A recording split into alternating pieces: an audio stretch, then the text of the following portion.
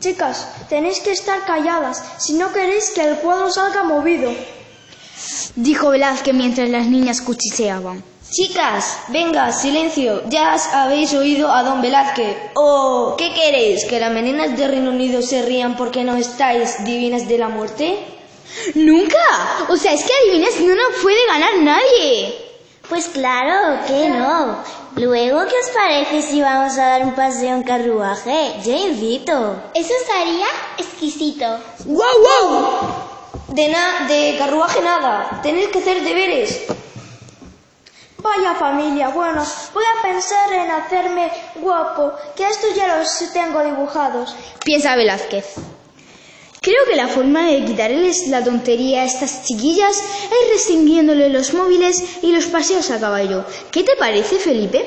Hmm, bueno, creo que es un escarmiento, no les, no les vendría nada mal, pero tienes que saber que acaba de empezar el colegio y se están adaptando.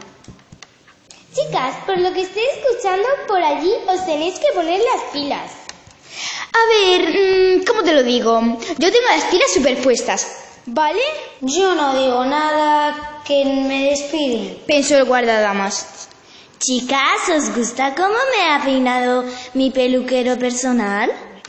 Madre mía, madre mía, ¿qué estará pensando el pobre Velázquez? Menuda familia, qué piezas. Hasta el perro es más tranquilo que vosotras. Estoy harto. Usted solo es un simple guardadamas, Chicas, un respeto. Él, él es el que os cuida. Le volvéis a faltar al respeto y vais al internado de cabeza. Pero de cabeza. Pero, papi. De papi nada. Menuda panza de locos, otra vez discutiendo. Menos mal que me pagan. Pensaba Velázquez.